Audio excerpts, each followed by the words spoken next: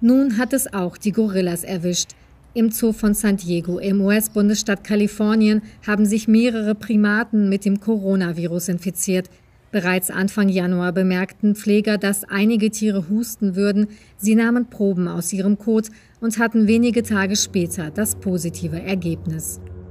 So they're they're doing okay. They're they're experiencing some mild symptoms, and we continue to observe them. Uh, but they're drinking, they're eating, and they're interacting with one another.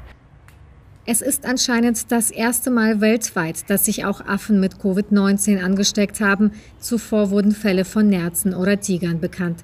Tierärzte geben den Gorillas nun vermehrt Vitamine, Flüssigkeit und Nahrung, spezielle Medizin allerdings nicht.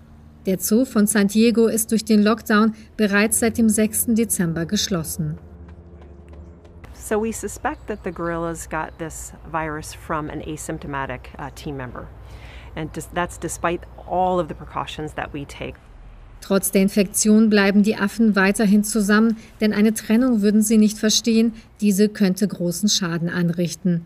Wie die Primaten weiterhin auf das Virus reagieren, ist noch völlig unklar. Veterinäre sind in Sorge, denn die Menschenaffen gelten als vom Aussterben bedroht.